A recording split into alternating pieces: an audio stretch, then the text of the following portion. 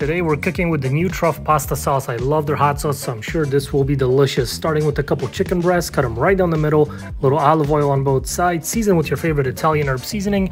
Next, saute down some onions and peppers. Once they soften up, move them to the side and grill your chicken breasts for a few minutes on each side to get some color and char and get them tasting delicious.